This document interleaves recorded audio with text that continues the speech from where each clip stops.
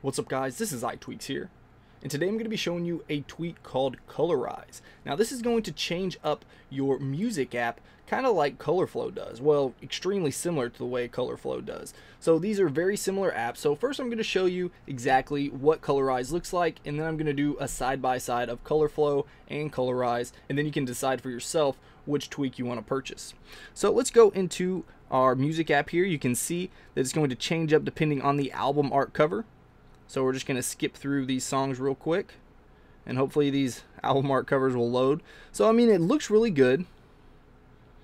And you're going to be able to tell when we put it next to Colorflow which one you're actually going to like better. I think Colorflow actually puts a little bit more uh, of emphasis on the text than Colorize does. So now let's go ahead and take a look at some side-by-sides.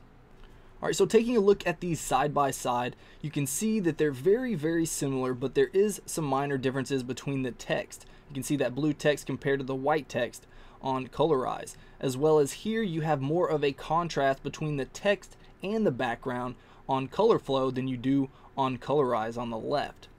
You'll also notice on Colorize that the status bar, all the indicators are black compared to Colorflow, which they're actually still white.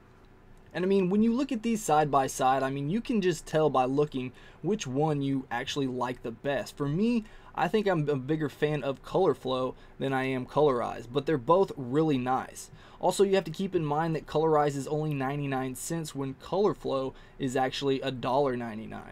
So both are really good tweaks. It really just depends on your preference, which one you think looks better, and also if you want to spend the extra dollar to get Colorflow.